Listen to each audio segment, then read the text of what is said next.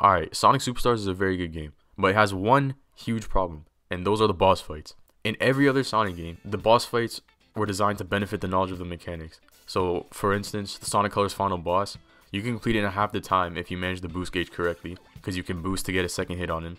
Same with the Sonic Unleashed Day Stage bosses. And even in Sonic Generations, the Egg Dragoon, the Mark II, you can complete it almost half the time again with the ability to dodge attacks at point blank range. In my opinion, that's how it's supposed to be, and that's that's how most video games do it as well.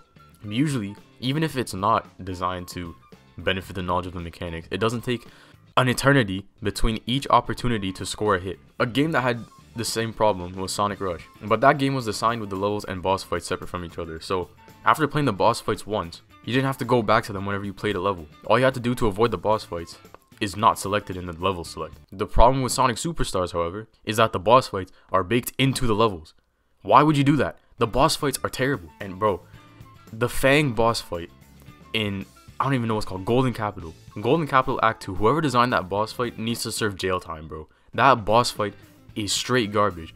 You can't do anything with the emerald powers, which are there to help you. It's an auto scroller. It takes a good minute and a half just to hit him once.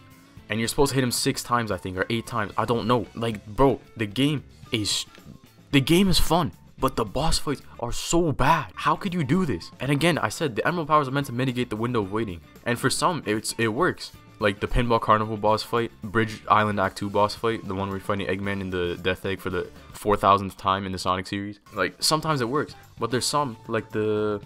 What's the desert level called? Sand Sanctuary. The guy's chilling in the background for 90% of the boss fight. You can't do anything. It doesn't matter if you have Bullet, it doesn't matter if you have Vine, whatever you have. It doesn't matter. God forbid you turn on slow and it takes 40 years for him to actually come back on the same plane as you.